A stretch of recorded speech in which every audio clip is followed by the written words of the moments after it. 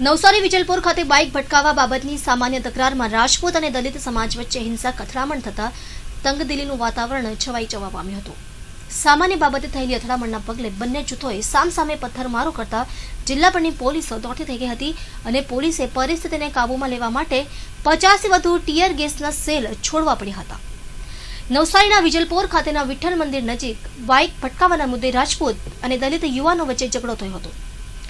જોકે આ ઝઘડાએ ક્ષણભરમાં ઉગ્ર સ્વરૂપ ધારણ કરી લેતા બંને સમાજના ટોળા સામસામે આવી જઈ એકબીજા પર પથ્થરમારો કરતા ભારે નાસભાગ મચી જવા પામી હતી.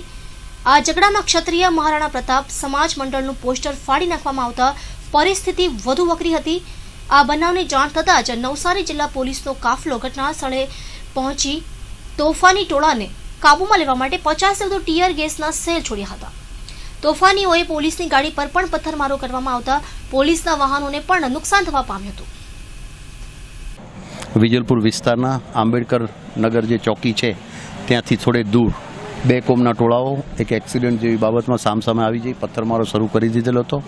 જે અન્વયે પોસ્ટેને ખબર પડતા તુરત જ પોલીસ માણસોથી બંદોબસ્ત ગોઠવવામાં આવેલ.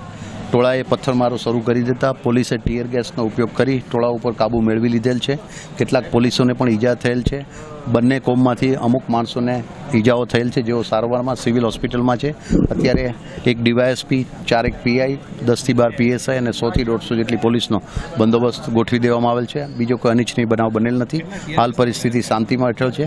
ટીયર ગેસ હજી પોલીસ બધી જગ્યાએ અલગ અલગ પથરાયેલી હોવાથી એક્ઝેક્ટ ટીયર ગેસના સેલ કેટલા પડ્યા છે તે કહી શકાય તેમ નથી. કેટલી ગાડીઓ પર પોલીસને નુકસાન થયો છે? કેટલીક ગાડીઓ પર પથ્થરમારો કરવામાં આવેલ છે. એ પણ થોડી વાર પછી જ્યારે પરિસ્થિતિ સંપૂર્ણ કાબુ હેઠળ આવે અને નિરીક્ષણ કરવામાં આવે, ત્યારે એનો ખ્યાલ આવી શકશે.